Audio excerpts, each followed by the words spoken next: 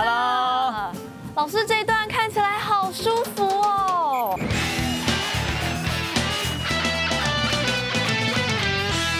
老师，我这样骑起来平平顺顺的，因为其实我就是骑在以前的铁轨上，对不对？对啊，我们这段唐铁国家绿道整段是在台铁轨上。国家唐铁绿道它其实从起点从西湖糖厂一直到西座森林公园，是我们县内整个铁轨保留最完整的一一段路线。整个自行车道全长大概十五点五。公里，那这个距离其实骑脚踏车其实是刚好的。而且啊，我觉得以前的五分车这个宽度，铁轨宽度改成自行车道刚刚好哎。对啊。就是中间有绿植栽之后，哎，左边的这个车道宽度，右边的车道宽度，这五分车，因为我们讲说五分车是比一般的火车还要再小一些，可是它变成自行车道之后，好像哎一分为二，这个距离还拿捏的恰到好处。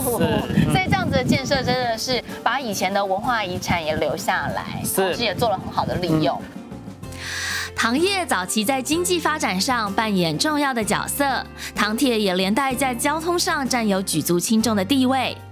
彰化糖铁以西湖为核心，往北串联鹿港、彰化，往东串联园林，往南便是这一条糖铁绿道。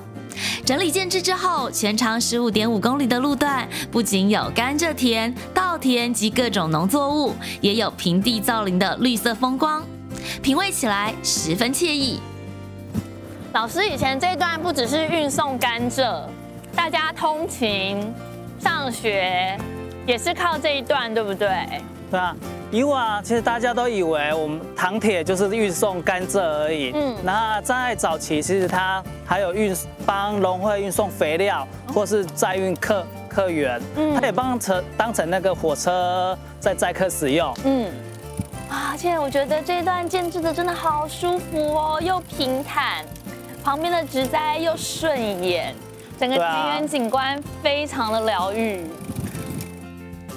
风光明媚之外，彰化糖铁自行车道也具有许多人文特色，像是沿途经过的浊水、牛稠子、二水三个旗站，就是每站之间重要的管制站。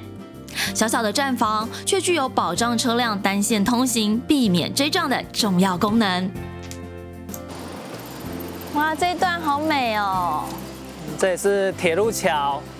在整个唐铁绿道跟东罗西的交交汇点，嗯，它以前铁轨是双轨，然后现在改成单轨，然后一边我们就改建为了自行车道。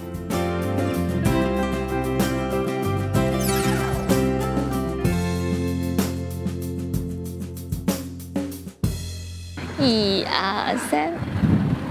有猫就给赞了，太可。